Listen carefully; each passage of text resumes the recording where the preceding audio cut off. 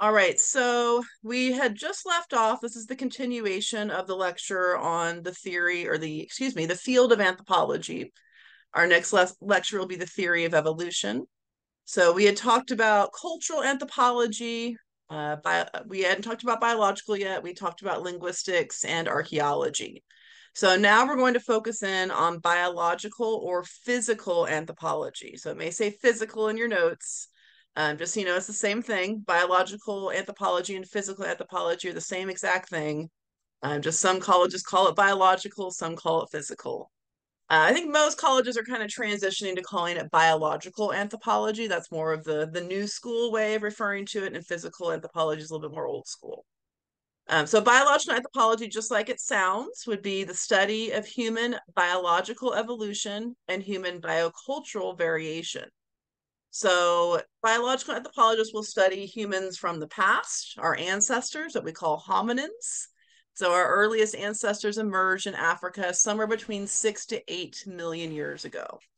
So the, the physical characteristics that separate us from the rest of the apes would be bipedalism, or the ability to walk upright on two legs as our primary mode of motion or locomotion. And of course, there's other variations, other things that separate us as well um, expanding cranial capacity, increased reliance on stone tool technologies and culture, eventually language and complex symbolic expression and symbolic burial and art.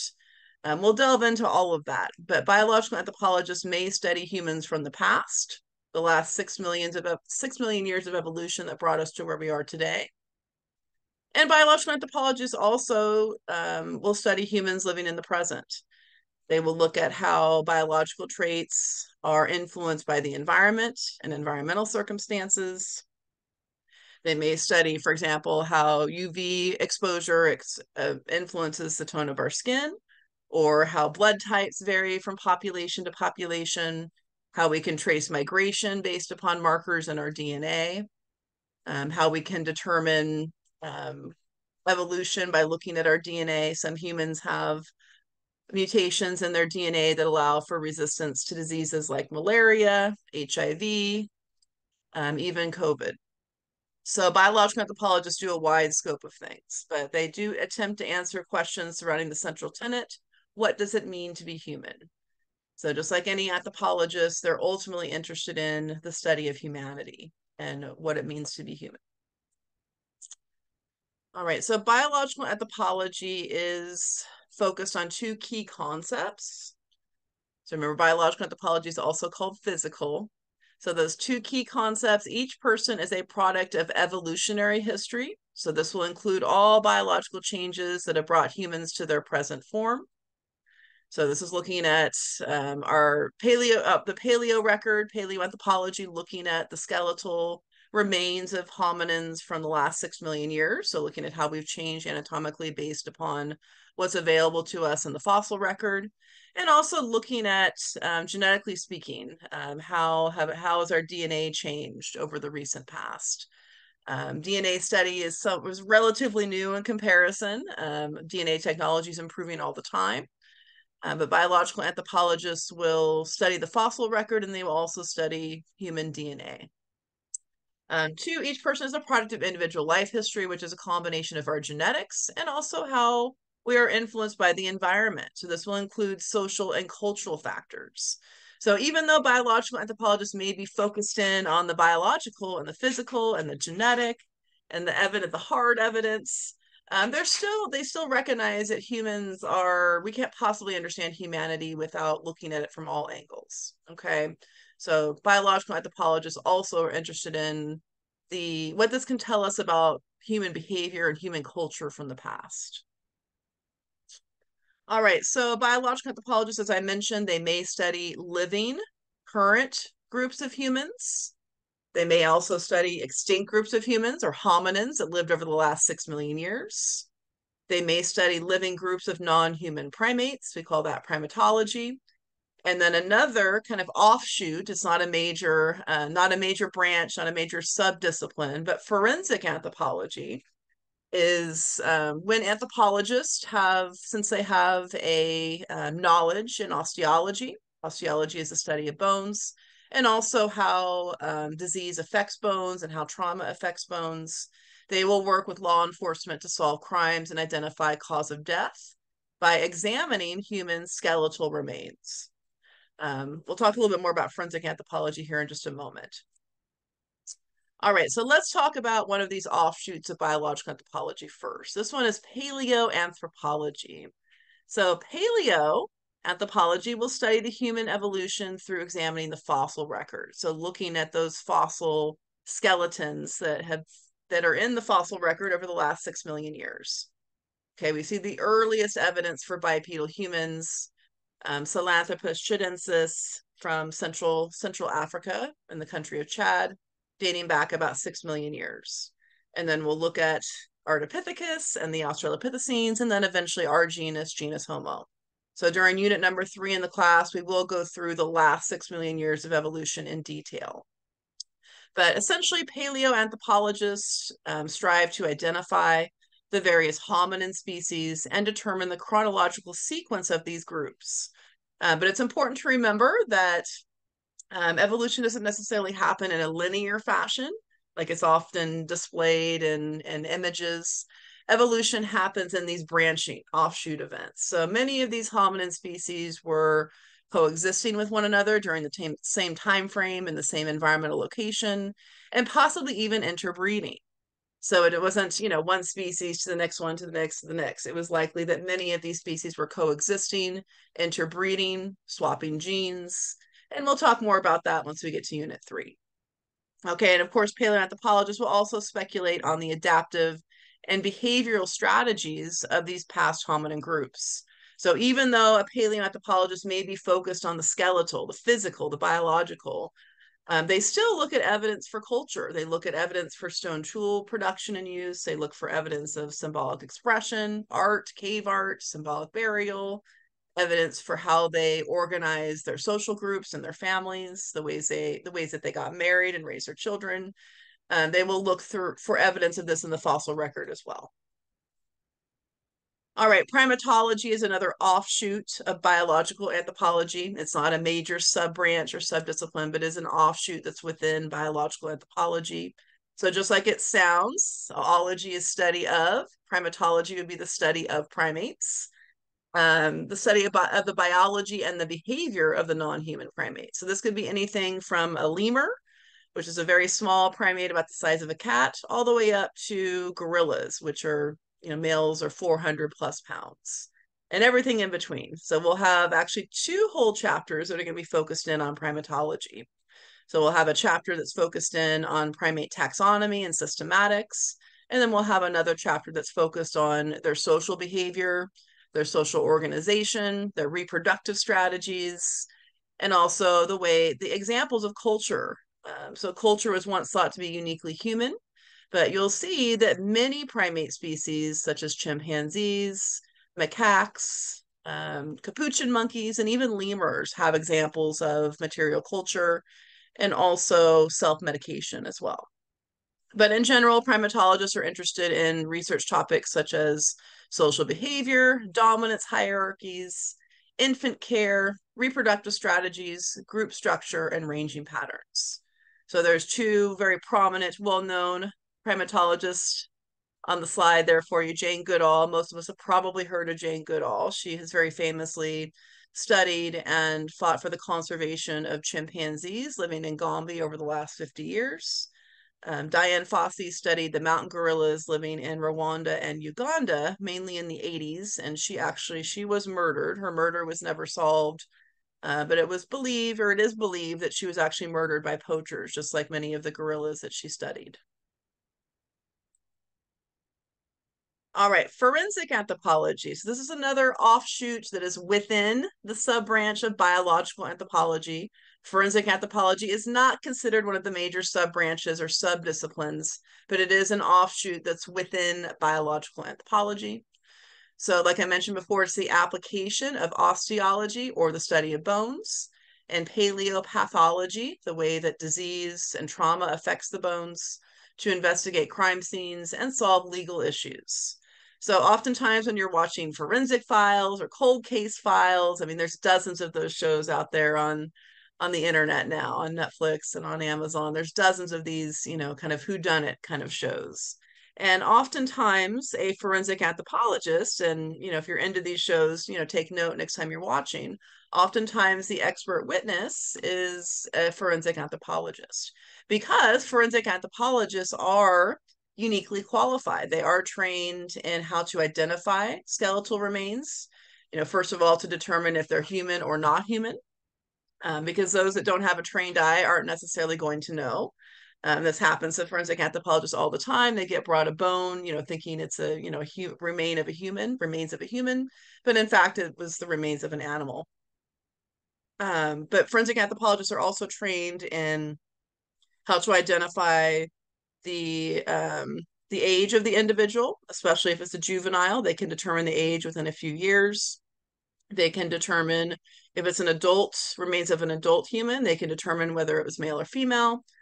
They can oftentimes speculate on the manner of death. If it was a violent death, they can look at evidence of blunt force trauma or gunshot wounds, or if there was disease that was affecting the bones. Um, they can also determine how tall that person was, the stature, if they have the long bones, if they have the femur or the humerus. There's a mathematical equation that will allow them to calculate the stature or the height that that person was. Um, so there's essentially forensic anthropologists are coming up with what we call a biological profile. So in cases, in legal cases where skeletal remains are found and the identity of the individual is not necessarily known, but maybe um, law enforcement has a list of unsolved missing persons cases. The forensic anthropologist can then come in, do a lot biological profile, determine how old the person was when he or she died, if it's an adult, determine whether it's likely male or female based on the shape of the pelvis, determine how tall that individual was, and sometimes speculate on the manner or cause of death. Okay. Um, generally not cause of death, generally that's the medical examiner, but forensic anthropologists can help develop hypotheses on the manner of death. All right. Questions at all about the branch of biological or physical anthropology, which includes paleoanthropology, primatology, and forensic anthropology.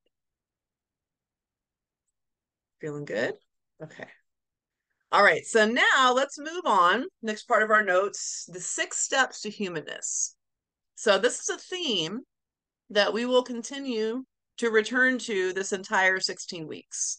So this slide, this chapter just kind of introduces the concept, but we'll continue to come back to this in each and every chapter. Okay, so this first slide just kind of lists them, and then we'll we'll go over each one in more detail in the in the slides that are going to follow. Okay, so you don't have to write down every detail right now. You're just writing down the six traits that we're going to talk about. So this is essentially what separates us from the other primates, what separates us from the other mammals, what makes us unique. So the first one that we're going to look at is bipedalism. So bipedalism is essentially the fact that we walk upright on two feet, on two legs for our primary mode of locomotion. We call that bipedalism. So that was the initial physical trait or physical characteristic that separated us from the rest of the great apes. Number two is non-honing canine. That is an upper canine that is not sharpened against the third premolar. Okay, so to give you an example of one that is a honing canine, let's pull out the gorilla. Okay. So this skull here, this one is a gorilla. So you see the canine is really pronounced, really projecting. Okay. So for the gorilla, the canines are sharpened against one another, and there's also the space here that allows for the, the gorilla to close his jaw. Okay, we call that the diastema. Okay, so this is a gorilla. And um, genetically speaking, a gorilla is very similar to us. Um, chimpanzees are about 98% identical to us. Gorillas are about 97. Um, but one thing that separates us from the other great apes is the fact that we have a reduced canine that is not sharpened against the third premolar. And we call that non-honing canine. Um, trait number three is material culture. So even though material culture is seen in other primates. Um, I think what's unique about humans is our reliance upon and our sophistication in material culture. Um, even though many other primates are capable of material culture, um, it's not quite as involved, and we're and they're not quite as reliant upon it as we are. Okay, so we see we define material culture as objects that are used to manipulate the environment to enhance survival and or reproduction. Um, trait four is hunting. Now, of course, um, not many animals hunt, many mammals hunt, many non-mammals hunt. Uh, but for humans and our ancestors, the difference is the degree of organization that's involved in hunting and also the technique, especially with humans, the technique that we use. We utilize a type of hunting which is called persistence hunting.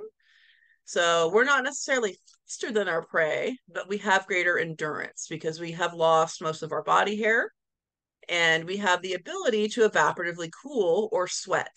So essentially, as we sweat, it's not necessarily the liquid that's cooling us down, it's the liquid that evaporates off the mostly hairless surface of our skin that cools us off. Okay, and we call that evaporative cooling. So, hunting, not that hunting is unique in general, but our strategy of hunting is unique. And also the fact that we use tools, we use weapons when we hunt is something that's somewhat uniquely human. We see that a little bit in chimpanzees. So there's lots of exceptions here, but I will agree. I will agree with your author that it is unique in the sense that it's more organized, it utilizes persistence hunting and more complex weaponry. All right, trait number five is going to be speech. So, speech or vocal communication. Of course, many other species communicate vocally and um, can even have pretty complex ways of interacting based upon tones of vocalization. Um, but in humans, there's a very unique bone in the vocal tract. It's a U shaped bone called the hyoid bone. I'll show you a picture here in a moment. Uh, but it is related to the anatomical capacity for articulate speech. And then trait six is going to be domesticated food production. So I think I mentioned earlier on in this lecture that, um, you know, essentially humans, we've been hunting and gathering the vast majority of our evolutionary past. Hominins have been around 6 million years. We've only been domesticating plants and animals about the last 10, 11,000 years. Okay, so really just a blip in time. So domesticated food production is kind of that last trait that distinguishes us from the other primates. All right, so a little more detail on these. Um, so we know bipedalism emerged somewhere between six to eight million years ago. So it's obviously the ability to walk upright on two feet. And we'll look at the various skeletal adaptations, essentially what separates us from the other great apes. There's adaptations in our pelvis. We have a broad bowl-shaped pelvis, whereas a chimpanzee has a long, narrow pelvis. We have longer femurs that are angled inwards towards our knees have the bicondylar angle.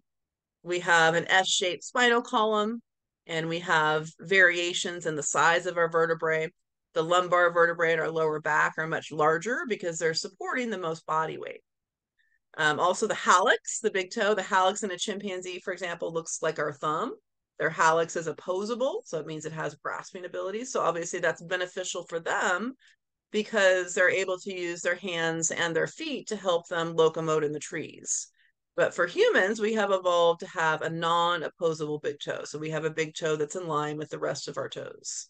So that's more beneficial for bipedal locomotion. So when you think about walking bipedally, um, you know, all of our toes are important, but the, the big toe is very important, right? It kind of acts as a stabilizer, it, it acts as a springboard and it's a very important aspect of effective bipedal walking, jogging, and running. All right, non-honing chewing. So like I mentioned before, it's, you know, it's different from what you might see in a gorilla, for example, or a chimpanzee or an orangutan. It's just I've got the gorilla here, so I'm using this example. So the gorilla has the large, prominent projecting canine that's sharpened against the other canine. And they also have that diastema, that space that allows for the gorilla to effectively close his jaw, open and close his jaw. But humans have a smaller, a reduced canine, and a lack of a diastema. Okay, so there's no space in between. Um, humans have also developed tools and cooking, which has assisted with the processing of food prior to consumption. So gorillas have this really prominent sagittal crest here. So the sagittal crest is actually the attachment point for the jaw muscles. So for a gorilla, the jaw muscles start down here on the ramus. They tuck underneath the cheekbones, the zygomatic bones, and then they attach all the way up here at the sagittal crest. So that's related to their diet. Gorillas are predominantly vegetarian. They eat mainly vegetation, some fruit, but mainly vegetation. And when you think about it, vegetation takes a lot of chewing force, especially if you've got a very large body size. You've got to eat a lot of vegetation to get enough calories to support a 400 plus body size. So gorillas spend about 50% of their waking hours just chomping on vegetation. So the reason they have these, you know, really massive jaws, massive molars, uh, massive sagittal crest is actually related to their diet. It's related to having a rough, tough diet that requires a lot of chewing pressure, a lot of jaw force. Okay. Whereas humans, we had developed tools and cooking to process our food prior to consumption that has allowed us to lose that, you know, really prominent uh, large canine and large molars and to lose that sagittal crest. All right, so number three, like I mentioned, is material culture. So that's defined as objects that humans will use to manipulate their environment to enhance survival and reproduction. So even though material culture is not necessarily completely exclusive to humans, because we know that chimpanzees, macaques, um, uh, capuchin monkeys, many other primates, you know, dozens of species we'll talk about in the second unit that are capable of using and manipulating the environment with tools. Uh, but essentially, what makes the, the human tool use unique is their dependence upon it for day to day survival. If we woke up tomorrow and all of a sudden somebody told us we couldn't use material culture anymore, you know, we may have, you know, we'd adapt, of course, but it would be a major, we would have a major, it would have a major impact, major shift, change on our life. All right, number four is hunting. Like I mentioned, like this one's probably the the hardest one to argue, but I think what your authors mean here is that essentially hunting is unique to humans in the sense that we have social organization in the way that we hunt. So we have the organized group pursuit of animals. We also use weaponry. We use tools and weapons when we hunt. And we also utilize that technique called persistence hunting. Okay, and it requires complex cooperation, tool use, and traveling long distances. So hunting is not unique to humans, but the way we hunt is unique to humans, is essentially what your author is saying here. All right, number five, like I mentioned, is speech. So there's that picture of the hyoid bone I promised you. So it's that U-shaped bone that we see in the vocal tract.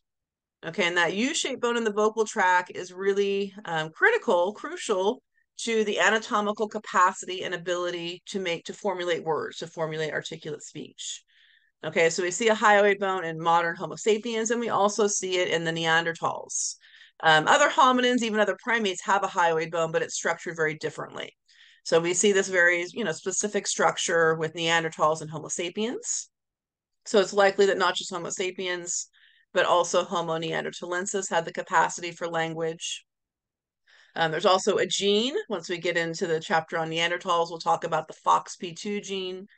Um, that's a gene that all mammals have, but there's a critical mutation, a critical change in that gene right around the time that the Neanderthals were evolving. So it's very possible that not just Homo sapiens, but also Neanderthals had the capacity for language, because we know that FOXP2 is also critical for the capacity for modern day speech.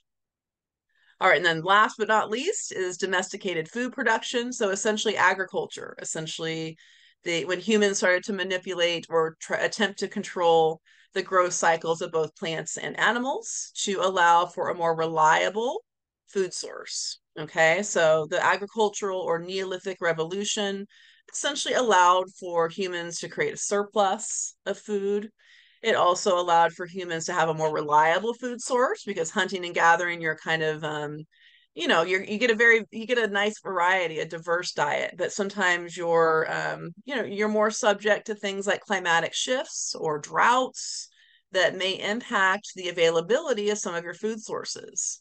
Um, so one of the big benefits, the big advantages of domesticated food production, especially once humans kind of figured it out, is it allowed them to create a surplus it allowed them to have a more reliable food source it allowed them to kind of you know take down roots and start you know living in sedentary villages which has its pros and cons that we'll talk about when we get to that chapter um, but essentially that's kind of that last trait that last kind of step to humanness that we're going to talk about you know later on this semester do you guys have questions about the six steps to humanness or anything we've talked about so far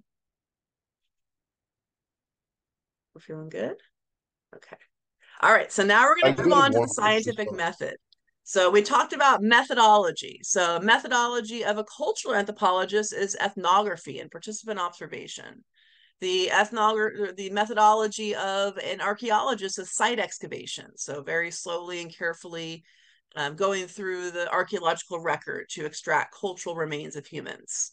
So, for a biological anthropologist, they will utilize the scientific process, the scientific method, just like any other scientist would.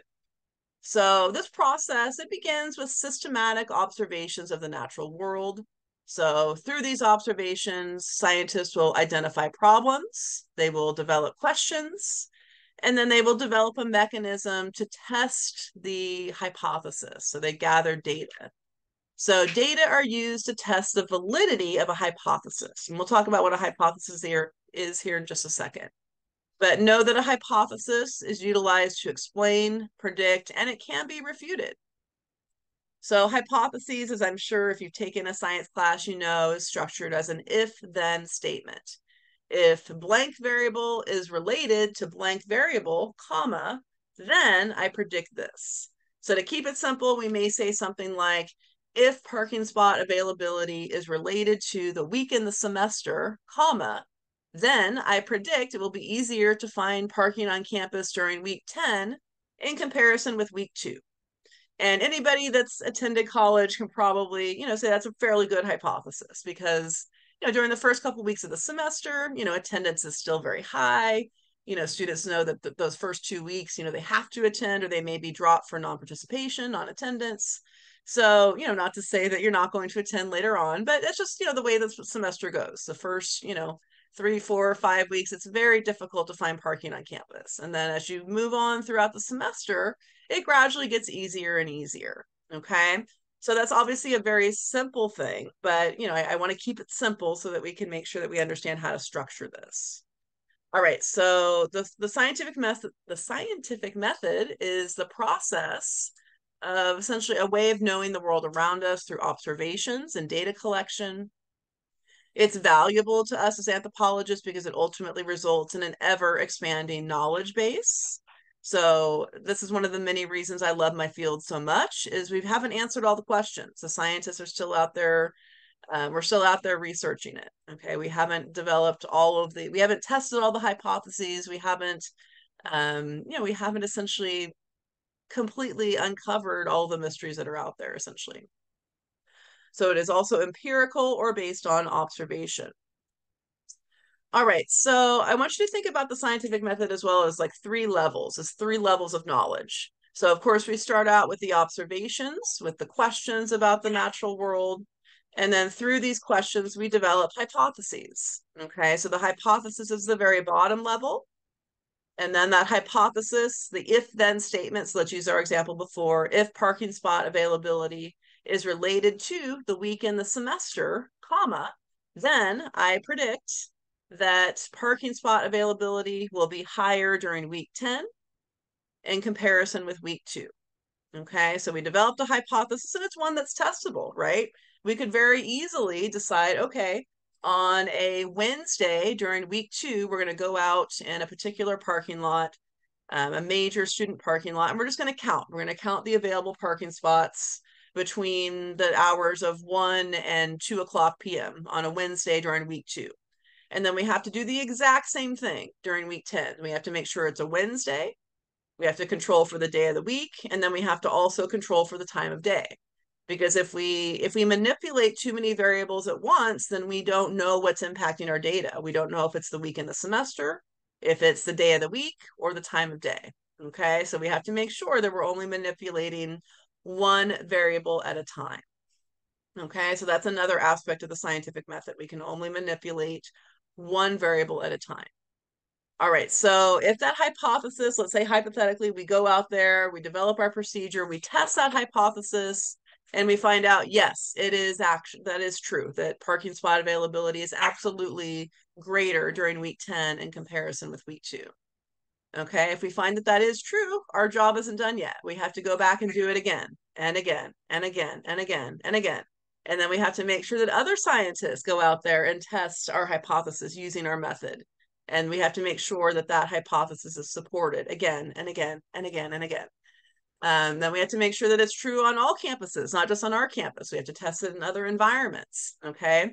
So you guys get the picture. It's it goes through a very rigorous testing process. And if that hypothesis is found to be absolutely true in all circumstances, supported in all circumstances, then it will eventually become a scientific theory. Okay. So that first level, the beginning level, is the hypothesis. The middle level is scientific theory. And then the only thing with more clout, more validity than a scientific theory would be scientific law. Okay, like thermodynamics, gravity, and the law of motion. All right, so this this kind of chart here kind of demonstrates what I just talked about. So we start out with our observations. So like I mentioned, let's keep it simple. Um, let's talk about our first example. So our observations as students and as you know as professors, we may have noticed that yeah, it's a it's a pain in the butt to find parking the beginning of the semester, but then it gets easier as the semester goes on. So we've observed this, and of course, we, I'm sure we can all think of reasons why. But you know, right now we're just we're just making that observation. We know that parking spot availability is difficult, challenging during the first five weeks of the semester, and then it starts to get easier. Okay, so from this observation, we're developing a hypothesis, and we have to make sure that it's structured as an if-then statement. So it's always, and you know, write this down, this is important. If blank variable is related to blank variable, comma, then make your prediction. Okay, so if blank variable is related to blank variable, comma, then make your prediction. So if parking spot availability is related to the week in the semester, comma, then I predict that parking spot availability will be greater during week 10 in comparison to week two. Okay. And then through your, once you've developed your prediction, your hypothesis, and once you've structured it properly and made sure that it's testable, then you develop the actual experiment, your data collection techniques. So you have to make sure that you're only manipulating one variable at a time. Okay, now you could do other experiments. You could do other experiments that were maybe looking at the time of the day or the day of the week as it relates to parking lot availability or parking spot availability. But for this particular experiment, we're simply interested in week two versus week 10. So we do that experiment where we go out into a particular parking lot on a Wednesday from one o'clock to two o'clock, and we count all of the available parking spots. Okay, we record that data from one o'clock to two o'clock on a Wednesday during week two. And then we need to do the same exact thing on a Wednesday from one o'clock to two o'clock during week 10. Okay. So we have to make sure that we're controlling for the day of the week and the time of day. Now, sometimes there may be things that are out of our control. For example, you know, there may be inclement weather all of a sudden during week 10. There may be a hurricane or an earthquake or just some rain, even or there may be an event on campus on that Wednesday during week 10, or there may be, I mean, just by chance, maybe a bunch of professors cancel class on that Wednesday during week 10. So, you know, sometimes there's factors that are out of our control that as experimenters, we can't necessarily, um, you know, we can't control for everything. So what that what that means is if those one of those unpredicted things occurs during week 10 or during week two, that means we have to throw that data out and start over again. Okay. Uh, but let's just say none of that happens. Let's say that, you know, it's a you know nice sunny California day during week two and during week 10. And let's say that we're able to collect that data and we do find that yes, it is in fact easier to find parking during week 10 in comparison to week two. Then we can say that yes, in fact, our hypothesis is supported. So we're still not done yet. We still need to do further testing. We need to make sure that our data is supported by multiple tests and multiple semesters. And then we give our experiment to other researchers and have them test it. We take it to other campuses and test it there. So only then, if it stands the test of time, it stands all of these tests and found and it's found to be supported in all circumstances, then that's the only time when we can then make it a theory instead of a instead of a hypothesis. Okay. Now, if it's rejected, it doesn't mean we didn't learn anything because it could have been a fluke, right? It could have been you know, there could have been some factor we weren't aware of that was impacting the parking spot availability during week 10. Maybe there was an event we didn't know about, or, you know, maybe no professors canceled class during week 10 on that day. So maybe everybody was there. So, you know, that sometimes there's factors that are out of our control. So if our hypothesis is rejected, then we still go back and do further testing. If it's continuing to be rejected, then okay, we need to go back to the drawing board. So that's when we go back, a new or revised hypothesis. So we're going back here to this step. Okay. All right. So essentially, the only way something becomes a theory, at least within the scientific community, the only way it becomes a theory is if it's gone through this rigorous process. If it's gone through a rigorous process of hypothesis testing and it's found to be true, found to be supported in all circumstances by multiple researcher, researchers in multiple settings. Okay, that's the only way that something becomes a scientific theory.